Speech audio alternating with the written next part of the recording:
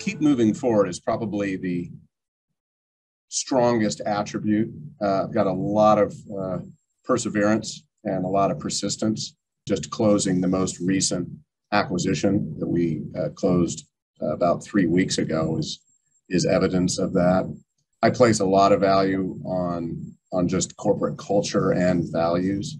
Uh, we talked about that before. Uh, do the right thing. Integrity is perhaps the most important value you can have as an individual or as a professional or as a firm. And that philosophy, that value runs deeply through the culture of Paladin. I have uh, really come to embrace over my career the limitations that I have as an individual and the power as a result of teams, teamwork, uh, better decisions uh, get made, um, better execution, better strategy.